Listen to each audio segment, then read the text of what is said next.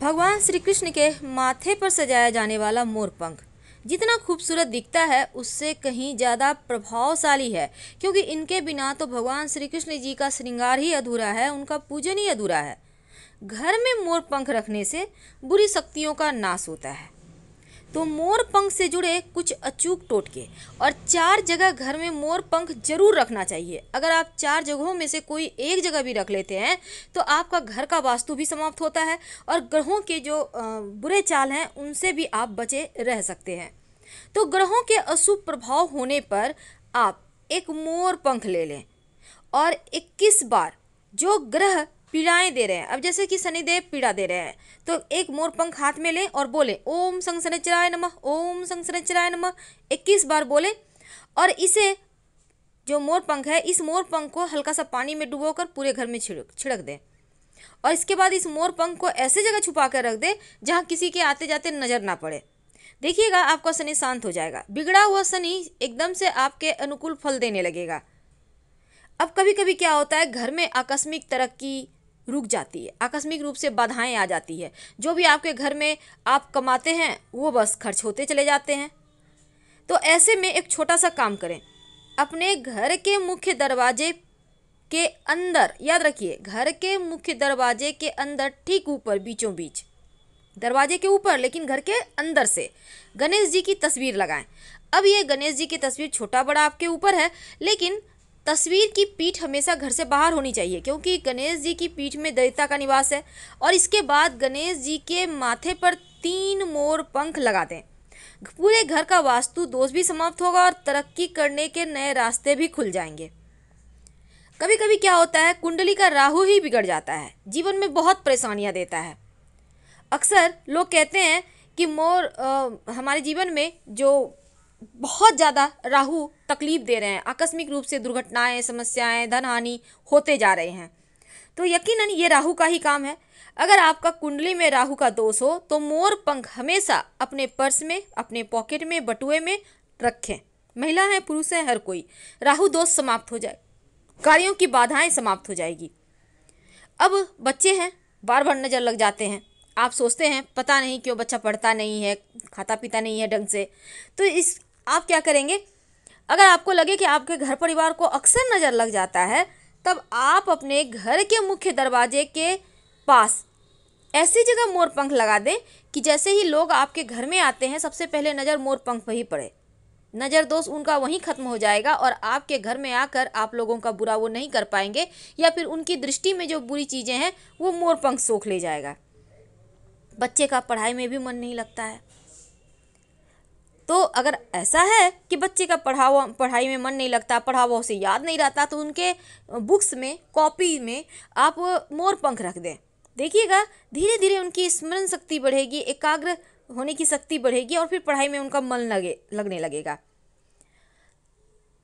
तो कभी ऐसा भी होता है कि दुश्मन बहुत परेशान करते हैं। कई बार तो घर के लोग ही दुश्मनी करते हैं। साथ में रहेंगे, प्रेम से बात करेंगे, लेकिन आपके लिए कभी अच्छा सोचेंगे भी नहीं। अब ऐसे दुश्मनों से मुक्ति पाने के लिए एक छोटा सा प्रयोग। ये मोर पंख का उपयोग आपके दुश्मन की बुद्धि बदल देगा।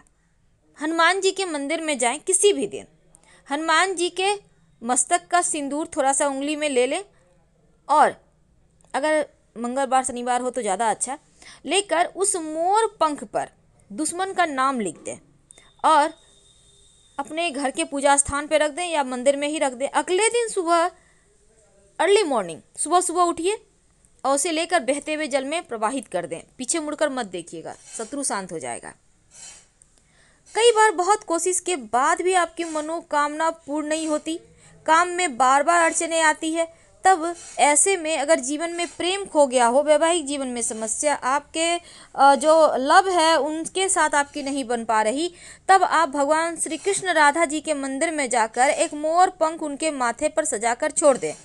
चालीस दिनों तक वहीं पर रहने दें और चालीसवें दिन आप वो मोर पंख लाकर अपने बेडरूम में रख लें। प्रेम बढ़ेगा, खुशियाँ बढ़ेगी। जो पति पत्नी में अनवन है, वो अपने घर के बेडरूम में पूरब या दक्षिण पूरब दिशा में मोर पंख रखिए या फिर दीवार में मोर पंख आप लगा दें या फिर मोर पंख का पंखा लाकर आप अपने घर में सजा दें। ये उपाय करने से आपके रिश्तों की मुश्किलें दूर होती हैं। अगर आपके छोटे बच्चे हैं बार बार नज़र लगते हैं तो उनके तकिए के कवर में मोर पंख डाल दें, उनके तकिए के नीचे मोर पंख डाल दें, उनके बेड के नीचे मोर पंख डाल दें, आपके बच्चों को नज़र नहीं लगेगी। क्योंकि मोर पंख लक्ष्मी, सौभाग्य, खुशहाली धन धान्य और संपन्नता के लिए पूजनी है और मोर के पंखों का प्रयोग माँ लक्ष्मी की इन्हीं विशेषताओं को हासिल करने के लिए किया जाता है। तो मोर पंख को अगर आप बांसुरी के साथ घर में रखें भगवान श्री कृष्ण के पास तो तस्वीर, ये जो आप रख देते हैं उनकी तस्वीर के पास तो रिश्तों में प्रेम बढ़ता है, सुख बढ़ता है, सौभाग्य बढ़ता है, खुशहाली आती है। मोर पंख जितना खूबसूरत दिखता है ना, उतने ही काम का है। अगर ग्रहों का अशुभ प्रभाव ज़्यादा परेशान करे तब आप प्रयोग मोर पंख का ज़रूर कीजिएगा। वैसे तो हर धर्म में मोर पंख का इस्तेमाल करने का विधान है और मोर पंख का टोट का दुश्मनों को जो, वो आपके ऊपर परेशानी डाले हुए हैं या आपके जीवन में परेशानियाँ क्रिएट करते हैं तो वो खुद ही अपने जाल में फंस जाएँगे। अगर हमेशा ही बिज़नेस में नुकसान हो, बेवजह का पैसा खर्चा हो, परेशानी बढ़ जाए तो आप अपने घर और दुकान में पूरब दिशा में मोर पंख एक लगा कर रख दें। आप चाहें तो फ्रेम करा कर भी रख सकते हैं। नकारात्मकता खत्म होगी लक्ष्मी आती है, क्योंकि मोर पंख जहाँ रहता है, वहाँ सिर्फ़ सकारात्मक ऊर्जाएँ आती हैं।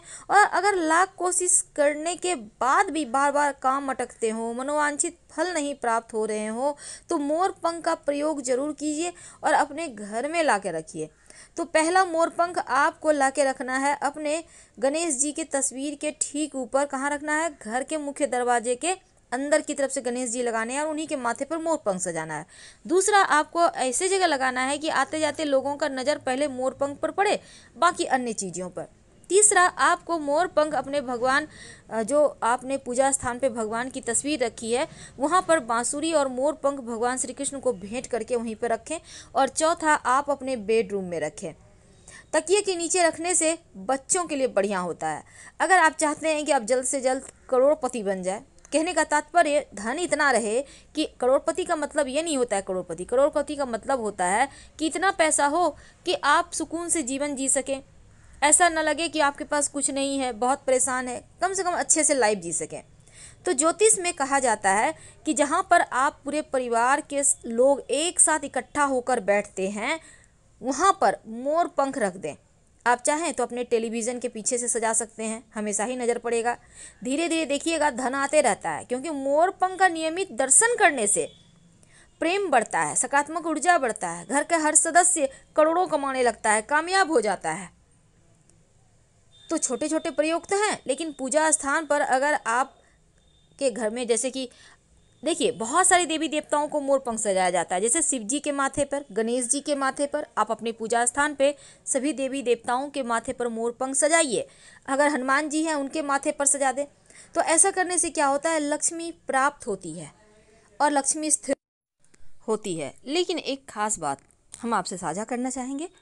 संतान प्राप्ति के लिए मोर पंख का जो बीच वाला आँख वाला हिस्सा होता है, उसको कट करके लड्डू के अंदर डाल के और उसको खिलाया जाता है, जिस महिला को संतान प्राप्त करना है। शीघ्र ही संतान प्राप्ति का वरदान मिलता है। ऐसा हमारा तंत्र शास्त्र कहता है। हम आपसे विदा लेते हैं। हर हर महादेव। धन्यवाद। जानकारी अच्छी लगे तब लाइक कर सब्सक्राइब करें, अपनों से शेयर करें और कमेंट में हर हर महादेव ज़रूर लिखें। धन्यवाद।